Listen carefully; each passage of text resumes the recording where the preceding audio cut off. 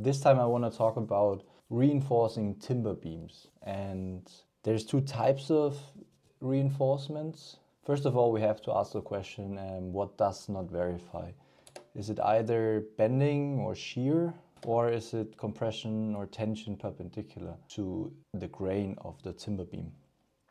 And let's start by looking at a bending problem. Like we have our timber beam, it's simply supported. Basically the first solution is to basically just add a another beam on top or below the beam. This could be very beneficial in a renovation projects but sometimes you might have space problems. Sometimes you can only add a, another beam from the bottom and sometimes just from the top. Um, and then you, you have to, in this case, it's very important that you actually screw the two beams together so that they act as one beam because you need to transfer the shear between those two elements um, and the, you achieve that um, with screws. And I actually wrote a very detailed structural design guide on how to verify such a double beam.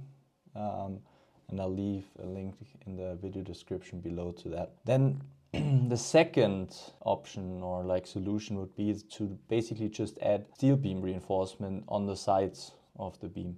This could be U profiles, it could even be HEB profiles or just like some flat steel um, profiles. And yeah, by that you also reinforce it and you increase the bending and shear capacity of of the beam. Now, the second type of reinforcing a timber beam is for the scenario that the compression perpendicular to its grain doesn't verify.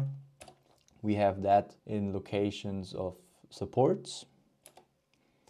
And the first solution would be to basically increase the support area um, by simply maybe you can lift the, the beam up and put like a steel plate underneath if it's like a existing building if it's like a existing beam. And in case that it's a new beam you can just make the plate bigger. The other scenario is that you reinforce the beam with screws. I just want to leave it that way now. I don't want to go into it more in detail. But if you want me to write a detailed article about it or make a video about it, then, then leave a comment below the video.